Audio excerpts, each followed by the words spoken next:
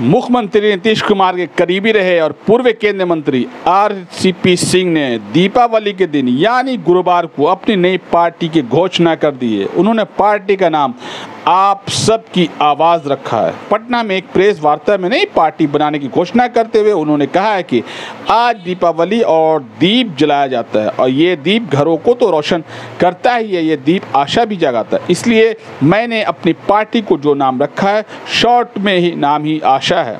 इसके full form में party का नाम आप सबकी आवाज़ है। क्या कुछ कह रहे हैं? आर सी पी सिंह आइए आपको पूरी खबर सुनाते हैं का नाम आशा है। और अगर पूरे नाम पर जाएँगे तो जितने लोग हैं हमारे यहाँ, जो बाहर हैं, पूरे देश में हैं तो आशा का जो फुल फॉर्म है, आप सबकी आवाज़। हमारी पार्टी का।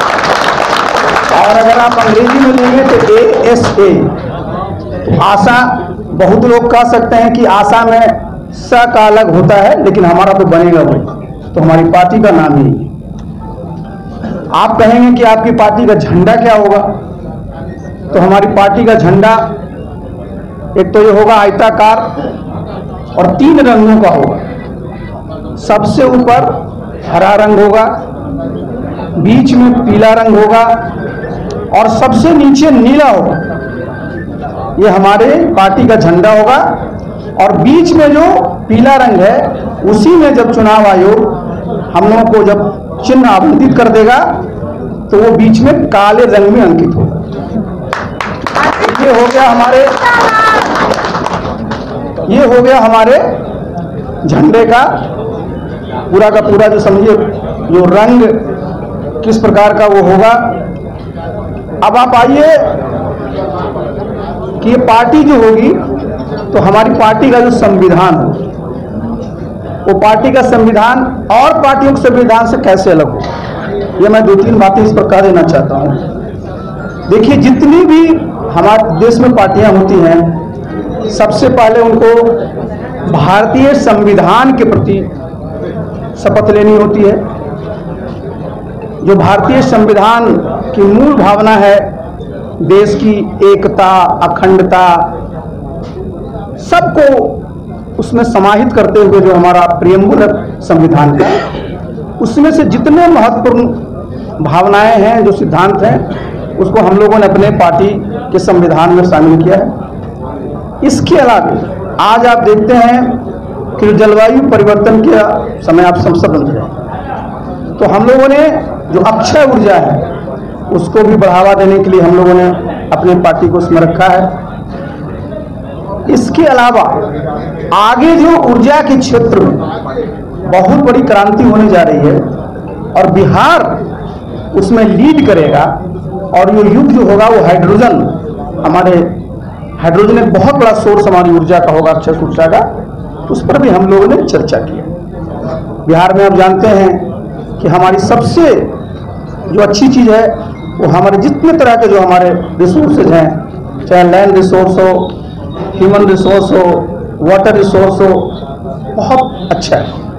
एक बात की चर्चा हमेशा लोग करते रहते हैं कि बिहार में सब कुछ है, लेकिन बिहार बिहार में खनिज संपदा नहीं इसके बारे में मैंने पिछले ढाई वर्षों में एक बार नहीं, कई बार मैंने इसकी चर्चा की। क्योंकि हमारे बिहार के लोगों को लगता है कि चूँकि हमारे पास खनिज नहीं है तो हमारे यहाँ उद्योग धंधे कैसे लगे? लेकिन मैं आपके माध्यम से पुनः इस प्रेस कॉन्फ्रेंस के माध्यम से सभी लोगों को, देश के लोगों को, बिहार के लोगों को बताना चाहता हूँ कि बिहार में किस प्रकार की खनिज संपदा उपलब्ध है, ये जानना चाहिए। इससे सब लोगों का मनोबल बढ़े। सबसे पहले आज आप देखिए, आज जितनी भी टेक्नोलॉजी जितने हम लोग आप यहाँ पर आईटी से जुड़े हुए हैं, जितना भी हमारा डिफेंस का जितने तरह का विमान देखते हैं, जितने तरह की मिसाइलें देखते हैं, जिसका भी नाम आप सुनते हैं, सब में जो यूज़ होता है,